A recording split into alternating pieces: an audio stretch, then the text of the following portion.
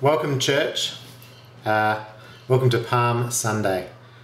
I want to read from Matthew chapter 21, verses 6 to 11. Seven. This is about the triumphal entry. I have to get my book. Okay, I'll just read this while you get your book. Oh, The disciples went and did as Jesus had directed them. They brought the donkey and the colt and put them on and put on them their cloaks, and he sat on them. Most of the crowd spread their cloaks on the road, and others cut branches from the trees and spread them on the roads. I got my Bible. Oh, you got your Bible? Oh, that's good. You Hannah- read yours. Hannah's got her Bible.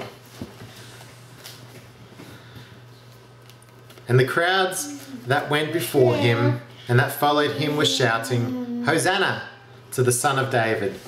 Blessed is he who comes in the name of the Lord. Hosanna in the highest.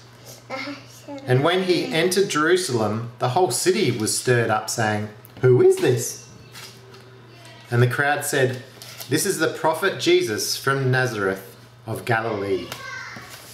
So today we are celebrating Palm Sunday, the, the Sunday before Easter, where Jesus entered in triumphantly into Jerusalem um, and caused quite a stir. And so he should have.